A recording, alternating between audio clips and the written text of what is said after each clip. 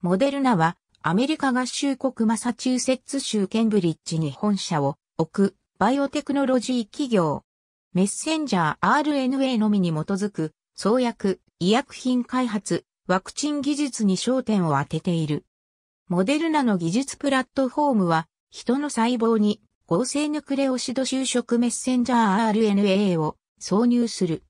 その後、このメッセンジャー RNA は細胞を再プログラムして免疫応答を促す。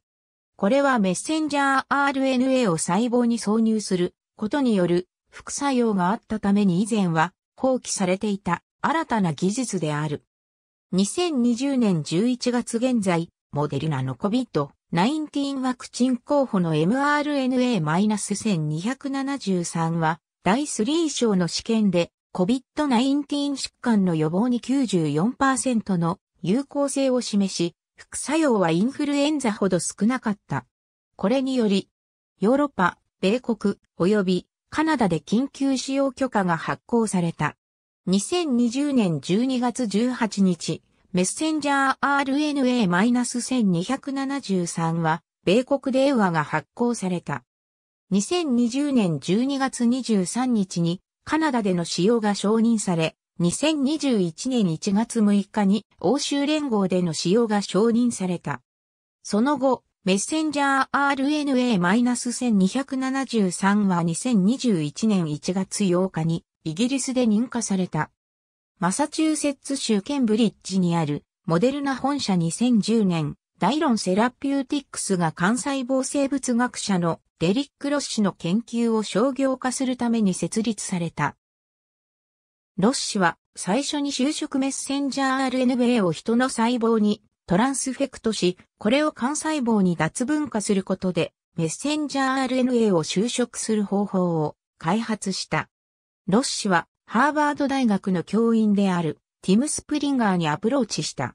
スプリンガーはケネス・チエン、ロバート・ランガー、ベンチャーキャピタルのフラグシップベンチャーズに共同投資を求めた。2011年、フラグシップベンチャーズの CEO であるニューバー・アフィアンは、ヨーロッパの製薬販売及び運営のエグゼクティブで、あるステファン・バンスルを CEO として迎えた。アフィアンは、個人として、モデルナの19.5%を所有し最大の単一株主であったが、ファンドであるフラグシップパイアニリングは18%を所有していた。2013年3月、モデルナとアストラゼネカは、心血管疾患、代謝性疾患、腎疾患の治療領域での治療のためのメッセンジャー RNA を発見、開発、商業化するための5年間の独占的オプション契約に署名し、癌の標的を選択した。この合意には、モデル内の2億4000万ドルの前払いが含まれており、この支払いは臨床試験ですでに試験されている薬を含まない製薬業界のライセンス契約において、これまでで最大の初期払いの一つであり、モデルナのシェアは8%であった。メイ2020年現在、心筋虚血の治療である大相性試験を通った候補は一つだけであり、AZD8601 とラベル付けされている。2014年1月、モデルナとアレクシーン・ファーマスーティカルズは治療を必要とする希少疾患について1億2500万ドルの契約を締結した。アレクシーンは、モデルナのメッセンジャー RNA 治療プラットフォームを使用して、クリグラーナジャール症候群を含む希少疾患治療を開発するための製品オプションに対して1億ドルをモデルナに支払った。2016年までに JP モルガンチェイスの投資家たちにアレクシーンとの研究は間もなく人の知見に入るであろうと語った。しかし、2017年までに、アレクシーンとのプログラムは動物の知見により、モデルナの治療は人に使用するのには十分安全ではないことが示されたため廃止された。2016年2月、ネイチャーの op-ed は、ほとんどの新興及び確立されたバイオテクノロジー企業とは異なり、その技術に関する査読付き論文を公開していないことについて、モデルナを批判し、そのアプローチを物議を醸していた失敗したセラノスのアプローチと比較した。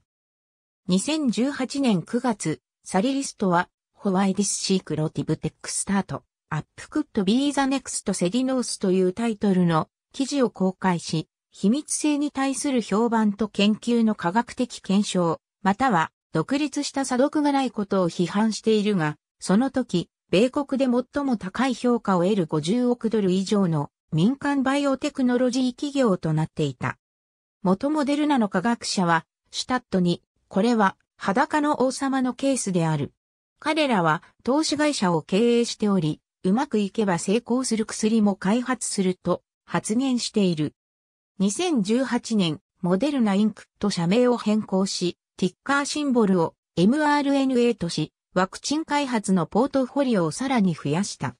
2018年12月、史上最大のバイオテクノロジー新規株主公開となり、ナスダックで6億2100万ドルを調達した。これは会社全体の評価額が75億ドルであることを意味する。2019年末の米国証券取引委員会のファイリングによると、モデルナは開始以来15億ドルの損失を累積し、2019年だけで5億1400万ドルの損失を出し、2010年以降では32億ドルの株式を調達した。2020年現在、モデルナは600億ドルと評価された。2020年3月、トランプ政権と製薬会社の役員との間のホワイトハウス会議において、バンスルは大統領にモデルナは数ヶ月以内にコビット19ワクチンを準備できると話した。翌日、FDA はモデルナワクチン候補の臨床試験を承認し、モデルナは後にオペレーションワープスピードから4億8300万ドルの投資を受けた。モデルナの取締役であるマンセフスライはオペレーションワープスピード計画の主任科学者に任命された。モデルナは、シュードウリジンヌクレオシドを含むメッセンジャー RNA を使用して、脂質ナノ粒子で送達されるメッセンジャー RNA を開発している。候補は、挿入型遺伝子変異による折りたたみと翻訳効率が改善されるように設計される。モデルナ COVID-19 ワクチン候補であるメッセンジャー RNA-1273 は大相性試験で18から55歳の少数のボランティアで免疫原性であることが示された。ディセンバー2020年現在、モデルナ及びファイザー COVID-19 ワクチンは FDA 及び他国の規制当局からの緊急使用許可の下で販売が承認されていたが、第3愛臨床試験を完了した、または COVID-19 に対する予防的使用の認可を受けたメッセンジャー RNA ワクチンはなかった。2011年以来、モデルナは医薬品の販売と経営のバックグラウンドを持つフランスの実業家、ステファン・バンスル最高経営責任者が率いてきた。バンスルはモデルナに対して密かにアプローチしていると言われており、タフな経営者であると評されている。シュタットは、これまで RNA に携わったことはないものの、バンスルは、博士号を持たない CEO にしては珍しく、100件を超えるモデルナの初期特許出願の共同発明者として名を連ねていると述べている。ニューバー・アフィアン、ロバート・レンガーに続き、バンスルは同社の筆頭株主となっている。スティーブン・ホゲは社長であり、元マッキンゼーカンパニーの経営コンサルタントで2012年に入社し、同社の第4位の個人株主である。デビット・メリーヌが CFO を務めている。フラッグシップパイオニアリングの CEO であるニューバー、アフィアンは2011年からモデルナの取締役会長を務めている。生物科学工学の博士号を持つアフィアンはフラッグシップパイオニアリングの様々な伝達手段を通じてモデルに権益を保有している。2018年の IPO の際に提出された文書によると、アフィアンは会社の19.5%を所有し、一方でフラッグシップは18%を所有しており、アフィアンは会社の37.5%を支配していた。2020年5月、モデルナの取締役であるドクター・マンセフスライは、コロナウイルスのワクチン開発を加速させることを目的とした米国のオペレーションワープスピードのチーフサイエンティストになるために同社を辞任した。スライ氏は新しい役職についても1000万ドル以上のストックオプションを持ち続け、連邦政府はコロナウイルスのワクチン試験を支援するために4億8300万ドルを同社に投資した。エリザベス・ウォーレン上院議員は、この保有を利益相反と呼び、スライはオプションを売却すべきだったと述べた。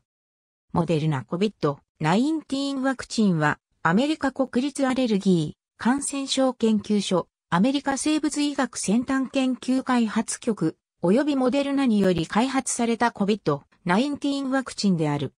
日本では武田薬品工業が治験を担当し製造販売の認可を受けている。ありがとうございます。